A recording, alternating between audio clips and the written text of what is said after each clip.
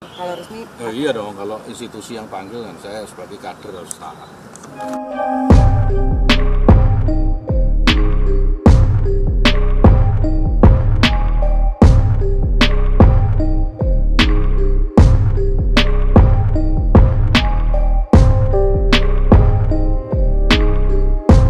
kalau resmi Oh iya dong, kalau institusi yang panggil kan saya sebagai kader harus taat. Ya, Oke. tapi ya itu. Jadi saya nggak akan merubah pendapat saya.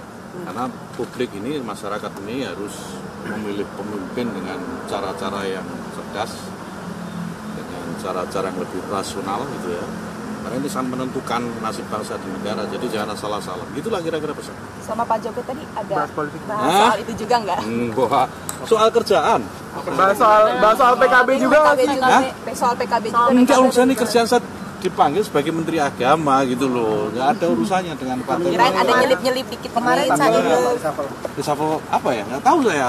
Itu presiden dong kok tanya saya. Kemarin Caimin bilang uh, Apa-apa? komentarnya Gus Yakut itu kayak komentar buzzer. Masa sih? Gitu. Iya. Saya Tanggapannya baru tahu tuh. gimana? Nggak apa-apa.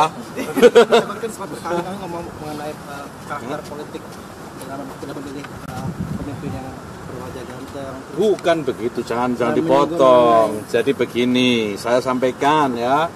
Jangan memilih pemimpin itu asal melihat fisiknya, mukanya ganteng, bicaranya bagus, manis gitu ya.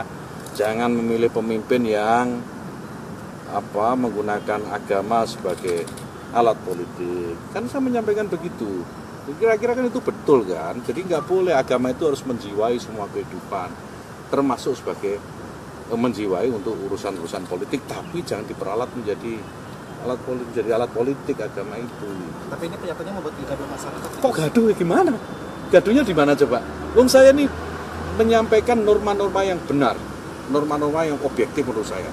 Publik itu ya begitu, memilih yang rasional, memilih yang apa yang dengan pertimbangan yang eh, benar-benar untuk bangsa dan negara, bukan hanya sekedar tampilan fisik. Salahnya di mana? Kok gaduh ya enggak lah menurut saya.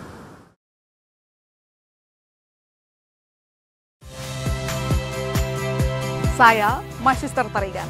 Saksikan program-program Kompas TV melalui siaran digital, pay TV, dan media streaming lainnya. Kompas TV, independen, terpercaya.